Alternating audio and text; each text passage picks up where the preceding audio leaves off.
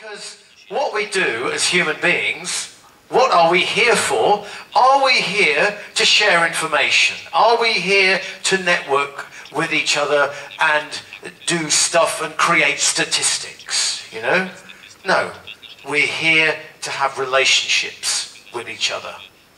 That's why we're here. We're not here for very long. Uh, we're here for a few hours. But eventually, we'll grow old and die. Sad, but true. Nobody's, nobody's invented an app for that. We're designed, we love to be with people. Otherwise, you wouldn't be here.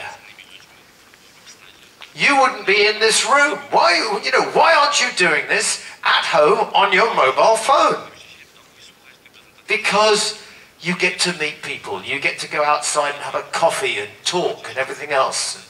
And, and, and be with people and touch people and experience people.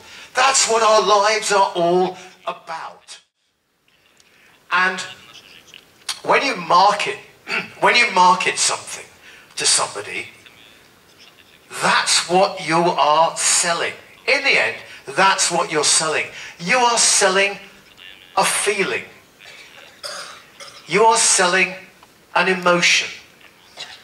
And if that emotion is, ah, oh, this is a piece of crap, right? When you get it, it's disappointment. You will never go near that product again unless you have no choice. Ryanair, for example.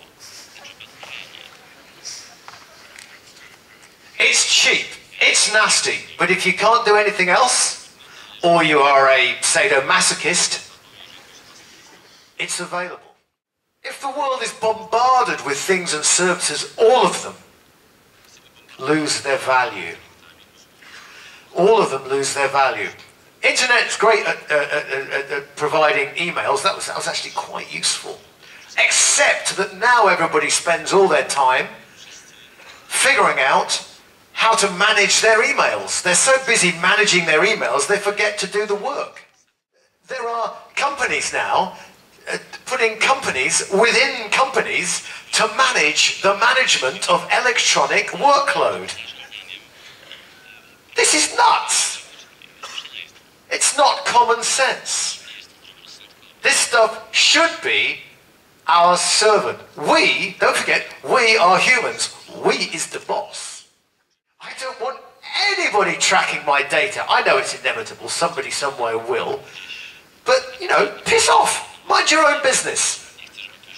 If I want to share my data with you, I'll run around naked on the street and go, ah!